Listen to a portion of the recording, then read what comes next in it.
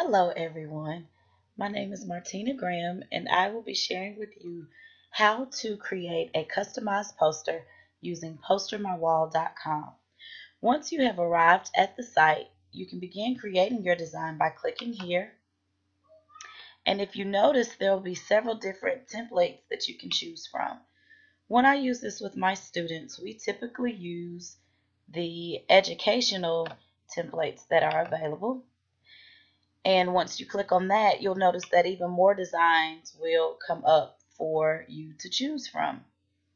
So I'm going to click on this one for the purposes of this assignment because it is asking me to reflect on the practices that I use within my content area.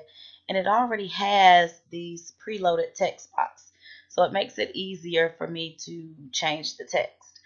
And all I would do in order to change the text is I would simply double click on the information that I'd like to change, highlight it, press backspace, and I'd insert the information that I'd like. So one of the questions asks what type of literacy um, is used within the content area that I teach. So um, one thing that we do is read informational and fictional text.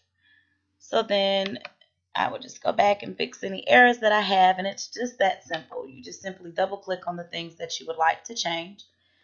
So I want to change this to maybe ELA poster. And it's just that simple. So if I wanted to change the picture, I could double click on the picture. I could add a photo. I could change that to a text box, add clip art, change the background, undo anything that I've done or redo um, something that I've already completed. So once I have finished my poster, then I'm going to click on share. And for you, if this is your first time using this website, it's going to ask you to create a free account. But I've already created the free account, so then it brought me to this particular screen. So I'm going to click on share your design online.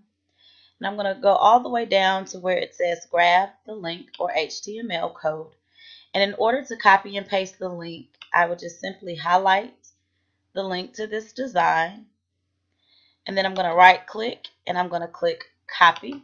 And then once I have copied the link, I'm ready to paste the link. And it's just that simple. Um, I hope you found this helpful. And if you have any questions, please feel free to email me. Thank you.